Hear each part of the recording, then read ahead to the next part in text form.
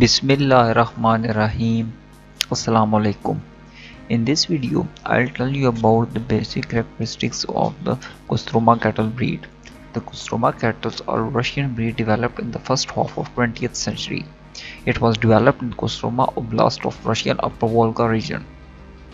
The breed was created based mostly on crossbreeding locally improved cattle breed with Allgäu Brown Swiss and Ayrshire bulls.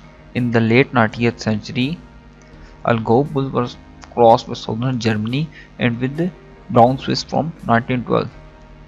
Crossbreeding with Brown Swiss breed continued on state farms from 1920 and some bull were used.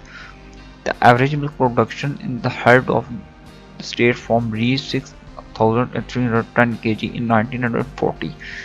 Today, the breed was used primarily for the milk production and also for the meat production. The Kostroma cattle have similarities in appearance to the brown Swiss cattle, but they have longer head and body with narrower forehead than the brown Swiss breed. The animal are easily characterized by strong constitution, hardiness and high milk production over a long lifespan. The lifespan of this breed is about 25 years. Their back and loin are straighter and wider. They are generally light and gray with the top yellow line. The Kostroma cattle are a dual purpose animal, but today they are mainly used for the dairy cattle before the milk production. They also have a good beef characteristics. Kostroma cattle are very hardy and long-lived animal.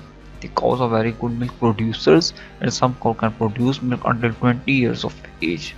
Typical milk production of the cows vary from 3900 to 5000 kg with 3.3 to 3.6% of protein and 3.7 to 3.9% of fat content but the under intensive management of the cows can produce about 6000 to 800 kg of milk per lactation but sometimes as much as 10000 kg.